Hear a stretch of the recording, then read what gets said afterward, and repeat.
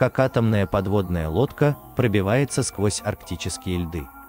Подводная лодка, прорывающаяся сквозь арктические льды, это мощный образ. Но это нелегко осуществить.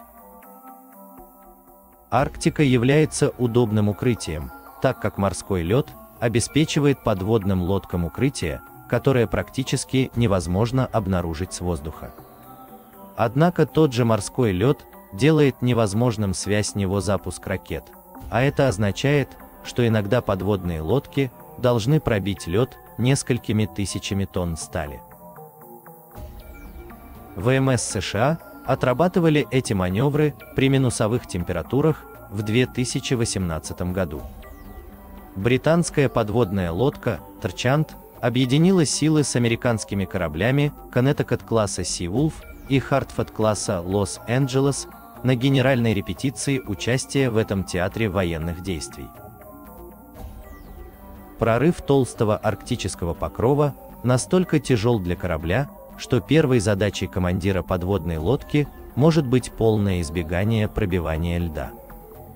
Подводная лодка, которой необходимо всплыть, может попытаться найти открытую воду с помощью инструмента, предоставленного Национальным ледовым центром. Это называется анализом переломов, и этот инструмент предсказывает, где можно найти открытую воду в холодных районах. Анализ ФЛЭП использует спутниковые снимки и программное обеспечение для прогнозирования, чтобы спрогнозировать на несколько дней вперед, где будет открытая вода.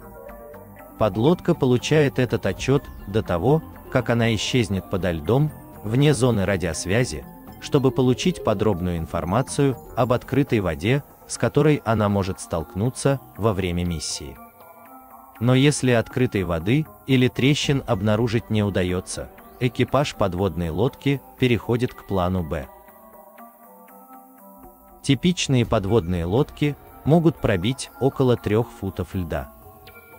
Суда, которые были специально усилены, могут пройти около 9 футов. Даже в этом случае одно неосторожное движение может повредить подводную лодку стоимостью 1 миллиард долларов и поставить под угрозу жизни более 100 членов экипажа. Поэтому выбор правильного места является ключевым. Как только арсенал средств обнаружения подводной лодки находит благоприятную точку прорыва, экипаж готовится к арктическому апперкоту. Преодоление арктических льдов – это своего рода маневр «держи руки внутри машины». Перед всплытием субмарина убирает все перископы и мачты. Моряки поворачивают вертикально водолазные плоскости, крылья, отвечающие за тангаж подводной лодки, чтобы избежать повреждений. Если лед не слишком толстый, подлодка может всплыть довольно быстро, примерно за 10 секунд, сталкивается со льдом и почти сразу пробивает его. При встрече с более толстым льдом подводная лодка медленно поднимается из-под поверхности, пока парус не соприкоснется со льдом. Сжатый воздух выталкивает воду из балластных цистерн, увеличивая плавучесть субмарины до тех пор, пока восходящая сила не расколет лед. Этот процесс, называемый статической нагрузкой, осуществляется со скоростью всего несколько дюймов в минуту, но после прорыва переводник быстро поднимается вверх. Этот маневр всплытия занимает некоторое время, и экипаж может все слышать, когда подлодка прорывается. Айсберги также могут представлять опасность на мелководье, где подводная лодка не может пройти под ними. В 1988 году советская подводная лодка К-475 застряла под айсбергом и получила значительные повреждения. В то время как опыт под водой может показаться странным ощущением, мир, который ждет над водой, является одним из самых отдаленных и чуждых ландшафтов на планете. После того, как экипажи используют бензопилы, чтобы отколоть свободные глыбы льда, подводники могут покинуть узкие пределы своего подводного мира и отправиться в совершенно другое и совершенно пустое место наверху. На поверхности выставлен охранник с дробовиком 12-го калибра, чтобы следить за белыми медведями.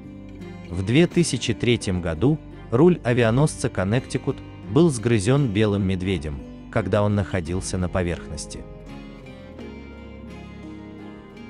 Подводная лодка прорвется сквозь арктические льды по разным причинам, в том числе для проведения научных исследований. Такие исследования будут приобретать все большее значение по мере того, как лед истончается, а арктический регион становится все более важным в экономическом и военном отношении. Исторические данные о толщине льда первоначально собранные подводными лодками ВМФ, чтобы помочь найти места для всплытия сквозь лед, оказались ценным ресурсом для исследователей изменения климата. Подводные лодки обеспечивают один из немногих способов добраться прямо до Северного полюса и провести подробные исследования. В будущем льда может стать меньше, но операции под ним могут стать более частыми. Исследования компании ISEX проводятся только раз в два года, и операции подо льдом остаются особенно опасными. К сожалению, два британских моряка погибли в Арктике во время учений в 2007 году. Но эти операции дают огромное количество научных данных, помогая поддерживать и готовность для военных учениях. Атомная подводная лодка это подводная лодка с ядерным реактором, но не обязательно с ядерным вооружением. Атомные подводные лодки имеют значительные технические преимущества перед обычными подводными лодками. Ядерная двигательная установка, будучи полностью независимой от воздуха, освобождает подводную лодку от необходимости часто всплывать на поверхность, как это необходимо для обычных подводных лодок. Большое количество энергии, вырабатываемой ядерным реактором, позволяет атомным подводным лодкам эксплуатироваться на высокой скорости в течение длительного времени. А большой интервал между дозаправками предоставляет практически неограниченный диапазон.